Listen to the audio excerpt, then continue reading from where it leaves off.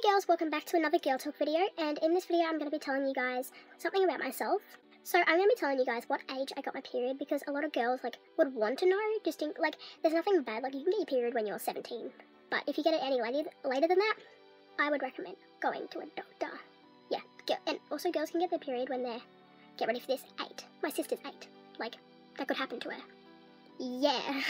so anyways, let's get started. Okay, so what age I got my period? So I got my period on the 5th of October 2016 and I was 12. So yeah, that's what age. Um, if you haven't got yours yet, just don't worry. As I said the ages before, like go see a doctor if you haven't got yours after 17. Like I'm not a doctor or anything, but that's what I've heard from other videos and from health experts and stuff. So yeah, so there you guys go. I hope you guys got some information from this video.